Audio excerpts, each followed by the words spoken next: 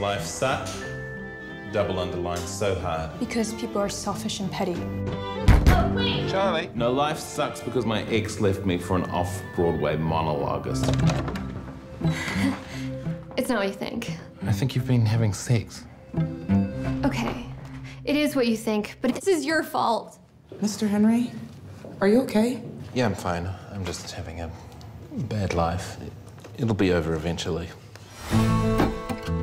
Okay, we're gonna have to wake up super early to make it to school on time. No, not. Yes, you are. You want a bed? I'm not gonna beat you. Stop the look. Don't give each other secret looks. so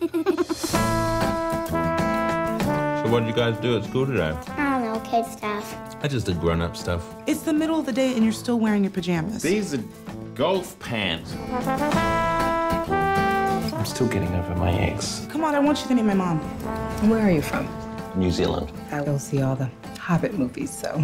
Oh, so you know all about us and our ways. That was sassy. Yeah, I'm a sassy little hobbit.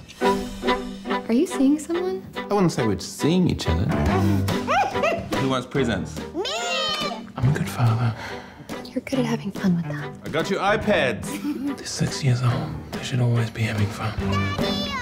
Are you girls ready for the greatest weekend of your lives? You say that every weekend. Yeah, we're doing it again.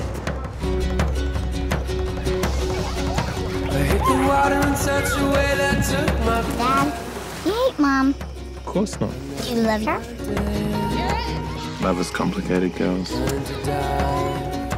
You can't predict what's going to happen or how we're going to change, but everything is going to be okay. How do you know? I don't, but it just helps sometimes to say that.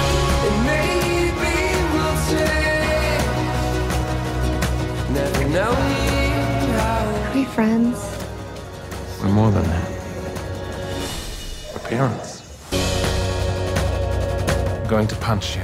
Please don't hit me in the face. Oh, that was my ear, man. I know, well, you said not the face. The ear is the face.